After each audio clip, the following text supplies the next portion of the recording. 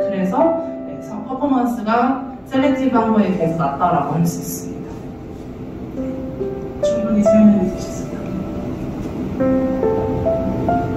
저 질문 보여주시면 틀릴 거예요. As time goes on, this allows diverse knowledge to be obtained as time passes, and then as well, homophilous learning behavior may create opportunities for organizations to retain 선생님이 학생들을 쳐다보면 발표자 커져요. 그 다음에 이제 이쪽 스크린 한번 볼래요? 프로젝터 된 거죠. 스크린 돼서 쭉 설명을 해요. 다시 앞으로 학생을 이제 다시 선생님이 쭉 커지는 거죠. 이게 자동으로 되는 거예요. 유튜브를 보실 때 화면이 떨어지면 화면을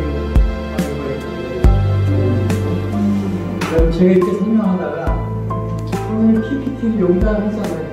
그 PPT를 쳐다보시면 이걸 터치해요. 이 전자로 이렇게 해서 선생님이 PPT를 옮겨가지고 이, 이 파워포인트를 가면 여기서 다음 장 이걸 다 넘기면 돼요. 이게 사실 두 화면 보실 필요가 없습니다. 선생님의 파워포인트로 강의하시고 학생들 쳐다보면 학생이 손에 또 켜져요. 이렇게 한 강의를 저 옆방에 해놓고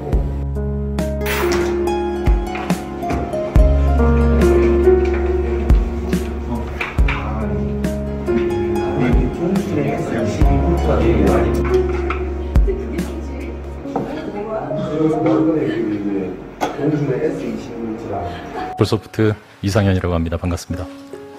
모든 사람들이 그 위에서 향유하고 누릴 수 있는 환경을 만들어 드리겠다 하는 게 저희 미션으로 되어 있습니다. 오늘 제가 준비한 내용은 여기까지입니다. 이제 이 정도 제한된 시간 내에 하는 자리로 생각, 에, 저, 활용하셨으면 좋겠습니다. 앞으로 하여튼 저희가 마이크로소프트가 의료 현장에서 저희가 축적한 많은 기술과 노하우가 유용에 활용될 수 있는 기회가 많이 생기기를 희망합니다. 감사드립니다. 네.